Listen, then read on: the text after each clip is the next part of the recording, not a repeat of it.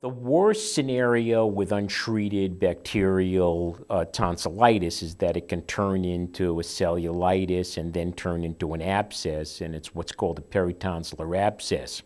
Once it gets into the muscles of the palate, you wind up with a pretty significant infection, and what you think is a sore throat, what you've had as a sore throat, is multiplied by a hundred peritonsillar cellulitis is not only very painful, but it also makes you extremely sick, uh, gives you a high temperature, and can lead to oral airway obstruction. So it's something you want to treat.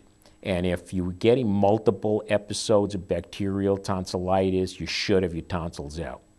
The criterion is anything more than four infections in a year period of time or an infection that doesn't go away in a month's period of treatment is an indication to get your tonsils out.